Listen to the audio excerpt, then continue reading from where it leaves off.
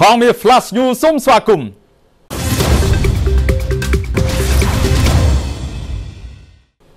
វិមានរដ្ឋធម្មនុញ្ញត្រូវបានសម្ពោធចំថ្ងៃបង្កើតរដ្ឋធម្មនុញ្ញគម្រប់ខួប31ឆ្នាំ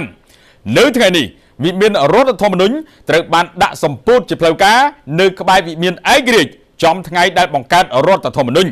ព្រះករុណាព្រះបាទសម្ដេចព្រះបរមនាថនរោត្តមសីហមុនីព្រះមហាក្សត្រនៃព្រះរាជាណាចក្រកម្ពុជា បានយាងជាព្រះរាជាអធិបតីក្នុងពិធីសម្ពោធនេះមានព្រះរាជបន្ទូលក្នុងពិធីនេះព្រះអង្គបានអំពាវនាវដល់ប្រជាជាតិខ្មែរទាំងអស់សូមរួបរวมគ្នាថែរក្សាការពារនិងគោរពរដ្ឋធម្មនុញ្ញដែលជាច្បាប់កម្ពុជារបស់ជាតិ យើងជាប្រជារាស្ត្រខ្មែរដែលធ្លាប់មានអរិយធម៌ឧត្តមឧត្តមប្រទេសជាតិស្ដុកស្ដំធំទូលំទូលាយថ្កុំថ្កើងរុងរឿងនិងកិត្យានុភាពខ្ពង់ខ្ពស់ភ្លឺចែងចាំងដោយពេជ្រពុនរាយបានធ្លាក់ខ្លួនដល់សែនរន្ធត់ក្នុងអំឡុងពីទសវត្សរ៍ចុងក្រោយនេះដូច្នេះសូមប្រជារាស្ត្រក្រោកឡើងរួមគ្នាពង្រឹងឯកភាពជាតិរក្សាការពារទឹកដីកសាងប្រទេសជាតិឲ្យទៅជាកោះសន្តិភាពរឹងមាំ ករណីកម្មករម្នាក់ចងកនៅលើទូកជាអំពើឃាតកម្មករណីកម្មករទូកម្នាក់ដែលស្លាប់នៅលើទូកនៅកណ្ដាលសមុទ្រក្នុងស្រុកកោះកុងខេត្តកោះកុងកាលពីចុងសប្តាហ៍មុននោះសមត្ថកិច្ចបានដាក់ការសង្ស័យថា ជាករណីឃាតកម្មមិនមែនជាករណីចងកទេសមត្ថកិច្ចបានឲ្យដឹងថាក្រមគ្រូពេទ្យបានធ្វើកសលវិច័យឃើញថា កម្មករទូកឈ្មោះមីជូ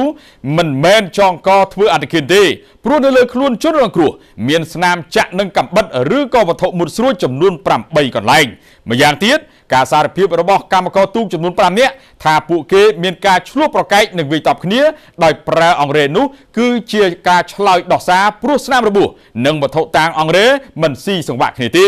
សូមបញ្ជាក់ថាបន្ទាប់ពីមានករណីចងកនៅលើទូកស្ថិតនៅស្រុកកោះកុងមកអ្នកបើកទូកមិនបានរាយការណ៍ទៅសមត្ថកិច្ចទេ ស្រាប់តែបើកទូកដឹកសពមកចតទុកចោលនៅកំពង់ផែទេសចរខេត្តកោះកុងទៅវិញសមត្ថកិច្ចនឹងកសាងសំណុំរឿងនេះទៅតុលាការខេត្តកោះកុងដើម្បីចាត់ការតាមនីតិវិធី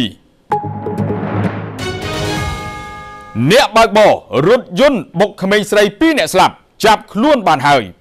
បន្ទាប់ពីអ្នកបើកបររូបនេះ បើករថយន្តបុកក្មេងស្រី2នាក់ស្លាប់នៅមុខផ្សារទំនើបលាក់គីភូមិភ្នំពេញថ្មីសង្កាត់ភ្នំពេញថ្មីខណ្ឌសែនសុករួចមកហើយបើករថគេចខ្លួនឥឡូវសមត្ថកិច្ចស្វែងរកចាប់ខ្លួនបានហើយបើតាមអ្នកនាំពាក្យនៃអัยការអមស្រានដំបងរាជធានីភ្នំពេញបានបញ្ជាក់ថា អัยការបានសម្រេចធ្វើការចោទប្រកាន់បុគ្គលឈ្មោះព្រំដួងពិសិដ្ឋអ្នកបើកបរផ្ទាល់ពីបទបើកបរបង្កគ្រោះថ្នាក់ចរាចរណ៍បណ្ដាលឲ្យស្លាប់អ្នកដទៃតាមមាត្រា85នៃច្បាប់ស្តីពីចរាចរណ៍ផ្លូវគោកគួររំលឹកថាករណីបុកមនុស្សស្លាប់នេះកើតឡើងកាលពីថ្ងៃទី9ខែកញ្ញានៅខណ្ឌសែនសុករវាងរថយន្តម៉ាក Toyota Camry បុកជាមួយនឹងម៉ូតូ Honda Zoomer X ដែលក្មេងស្រី2នាក់បងប្អូនបង្កើតបានជិះដូចគ្នា ជនជាតិឥណ្ឌូនេស៊ីពីរក្រុមបើកឆាកប្រយុទ្ធគ្នាទាំងកណ្ដាលយប់នៅក្រុងប៉ោយប៉ែតប្រជាពលរដ្ឋអ្នករកស៊ីក៏ដូចជាអ្នកដំណើររត់ចែកជើងគ្នាពៀតព្រោះខ្លាចត្រូវដុំថ្មដុំឥដ្ឋខណៈមានជនជាតិឥណ្ឌូនេស៊ីចំនួន2ក្រុមប្រមាណជាង10នាក់បានបើកឆាកប្រយុទ្ធគ្នាយ៉ាងអនាធបត័យតាមដងផ្លូវករណីនេះបានកើតឡើងនៅភូមិក្បាលស្ពានមួយសង្កាត់អូជ្រៅក្រុងប៉ោយប៉ែត ប្រជាពលរដ្ឋបាននិយាយថាគណៈពួកគាត់កំពុងលក់ដូរធម្មតាស្រាប់តែឃើញជនជាតិឥណ្ឌូនេស៊ីទាំងពីរក្រុមខ្លះមានដំបងខ្លះមានដុំថ្មស្ទើរគ្រប់ដៃបានគប់ដាក់គ្នាទៅវិញទៅមកហើយក៏មានអ្នករងរបួសផងដែរក្រោយពួកគេប្រយុទ្ធគ្នាបានមួយប្រាវសមត្ថកិច្ចបានចូលទៅដល់ដេញចាប់បានចំនួន2នាក់ហើយមួយចំនួនទៀតបានរត់គេចខ្លួនបាត់អស់រាជធានីខេត្តចំនួន10មានតម្រូវការកម្លាំងពលកម្មជិត60000កន្លែង ក្រសួងការងារបានឲ្យដឹងថា